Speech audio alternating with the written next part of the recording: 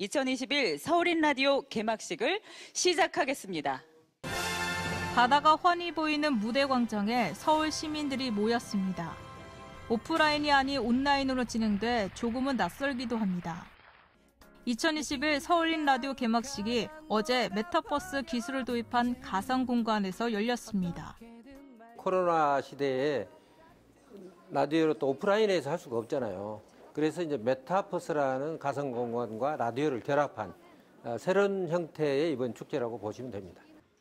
올해 5회째를 맞은 이번 축제는 환경과 마을 미디어 위기를 주제로 마포 FM, 노원마을 미디어 센터 등 거점 마을 라디오 스튜디오와 가상현실 플랫폼에서 열립니다.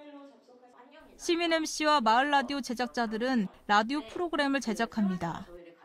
방송하기 전 출연자들은 대본을 연습하고 화면에 비친 모습도 꼼꼼히 모니터링합니다.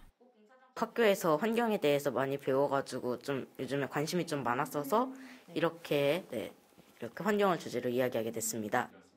내가 사는 동네에서 라디오를 제작하면서 더 나은 공동체 생활을 할 수 있는지도 논의합니다.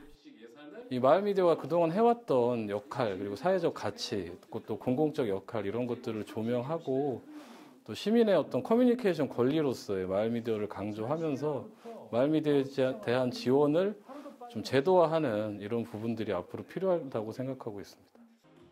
올드미디어와 뉴미디어, 지역과 세대를 연결한 2021 서울린 라디오. 내일 오후 2시부터 8시까지 진행되는 프로그램은 라디오와 유튜브에서 동시 송출될 예정입니다. TBS 정진명입니다.